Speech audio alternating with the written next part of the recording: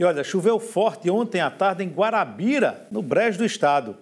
Carros que estavam estacionados ficaram submersos com a enchente. Os problemas também afetaram feirantes. Em nota, a Prefeitura de Guarabira confirmou que as pancadas de chuvas causaram estragos para os moradores, mas vai agir para reparar aí os danos.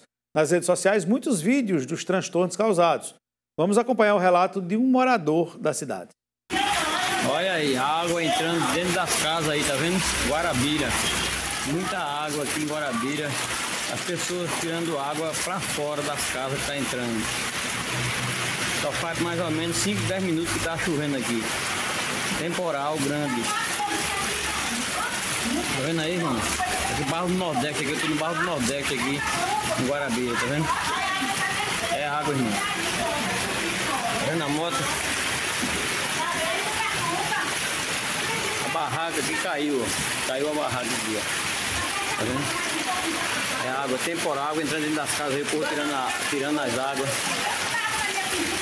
Da cidade de Guarabira. Impressionante, né? Agora, não é só chuva, é que as nossas cidades são despreparadas para a chuva. A verdade é essa, né?